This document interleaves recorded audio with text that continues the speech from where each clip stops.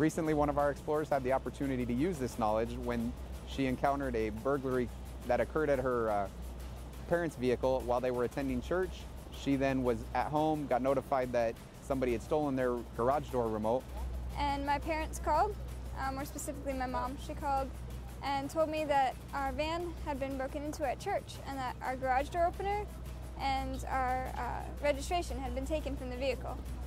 And um, so she told me to make sure that all the doors and windows were locked and shut um, just for safety reasons. So I was going around making sure everything was closed and I heard uh, loud knocking and um, the doorbell being rung uh, many times. And um, so I went to go see who it was, and I didn't recognize the man. So I had kind of a bad feeling about it and took note of his uh, description, physical appearance, everything like that. And um, he went away, and then he came back again, which made me even more suspicious. And um, so then the second time, I was still on the phone with my mom, and um, so I was relaying to her everything that happened. Uh, so he went back to his car after the second time, and I walked around to the front of my house uh, on the inside to uh, see where he was walking to, and there was a car backed into our driveway.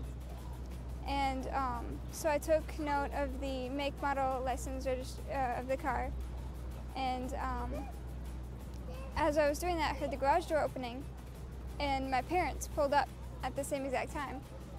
And um, so the car that they were in took off, and uh, my parents' car uh, went after them.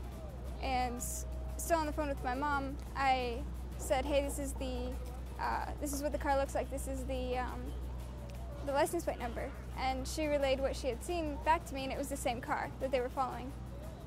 And um, so then my dad, who was driving the car, came home and called the police. Which eventually led to the arrest of the individuals um, because that information was provided to the police and then they were able to follow up in an unmarked capacity, watch and observe as those subjects did the same MO that they had been operating with and had been hitting several places around the valley. If you're interested in the Explorer program, you can contact me at my desk phone number at 623-930-3226 or you can email us at explorers at glendaleaz.com.